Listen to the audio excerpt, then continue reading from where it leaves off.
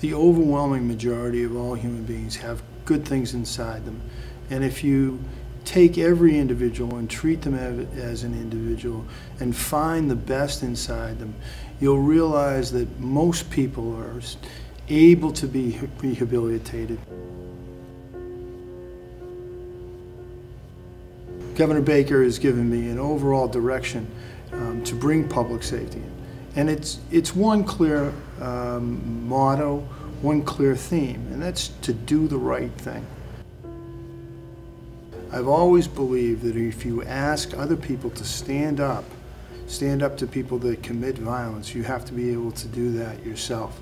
And it was a time when one individual decided that he was going to target me. I knew that at this time I had to stand up like I had asked people hundreds of times to stand up before in very difficult circumstances against very dangerous people. The thing that I do most often to put aside what I'm doing at work is coach my um, children in sports. And it's a great relief um, because I enjoy the sports, coaching football or basketball. And also it does something that's very important. It forces me to leave the office.